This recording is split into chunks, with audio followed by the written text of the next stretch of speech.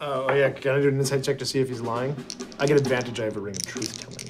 I'll do an insight as well. Oh, double botch. Oh!